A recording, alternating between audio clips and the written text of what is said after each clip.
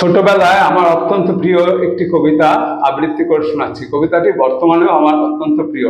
বিশ্বকবি কবিগুরু রবীন্দ্রনাথ ঠাকুরের বীর পুরুষ। মনে করো যেন বিদেশ ঘুরে মাকে নিয়ে যাচ্ছি অনেক দূরে। তুমি যাচ্ছ পালকিতে মা চড়ে, দরজা দুটো একটুকু ফাঁক করে। আমি যাচ্ছি রাঙা ঘোরার পরে, টক বগিয়ে, তোমার পাশে পাশে। রাস্তা থেকে ঘোড়ার খুঁড়ে খুঁড়ে রাঙা ধুলোয় মেঘ গুড়িয়ে আসে। সন্ধ্যা হলো, সূর্য নামে পাটে।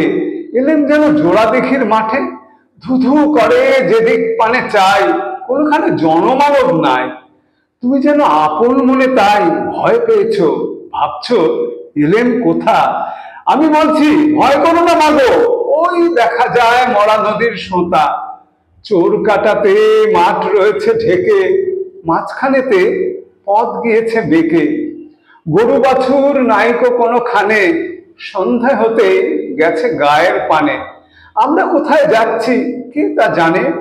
অন্ধকারে দেখা যায় না ভালো। তুমি যেন বললে আমায় ডেকে দিঘির ধারে ওই যে কিসের আলো?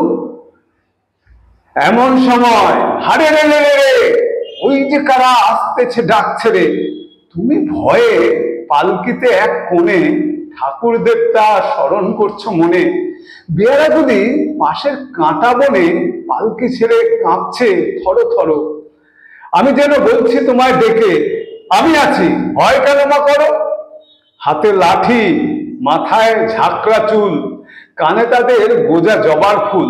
আমি বলি, দাঁড়া, খবরদার, এক পা কাছে আসিস যদি আর, এই চেয়ে দেখ আমার তলোয়ার, টুকরো করে দেব তোদের সেরে। শুনে তারা লম্ফ দিয়ে ওঠে, চেঁচিয়ে উঠল, আরে, রে রে রে তুমি বললে যাসনে খোকা ওরে, আমি বলি, দেখো না চুপ করে। ছুটিয়ে ঘোড়া গেলেন তাদের মাঝে, ঢাল তলোয়ার ঝনঝনিয়ে বাজে। কি ভয়ানক লড়াই হলো মাঝে। শুনে তোমার গায়ে দেবে কাটা। কত লোক যে পালিয়ে গেল ভয়ে, কত লোকের মাথা পড়ল কাটা। এত লোকের সঙ্গে লড়াই করে ভাবছ কোথা গেলই বুঝি মরে? আমি তখন রক্ত মেখে ঘেমে বলছি এসে, লড়াই গেছে, থেমে। তুমি শুনে পালকি থেকে নেমে চুমো খেয়ে নিচ্ছ আমায় কোলে। বলছো, ভাগ্যে খোকা সঙ্গে ছিল, কি দুর্দশাই হতো তা না হলে? রোজ কত কি ঘটে যাহা তাহা, এমন কেন সত্যি হয় না? আহা! ঠিক যেন এক গল্প হতো তবে। শুনতো যারা, অবাক হতো সবে।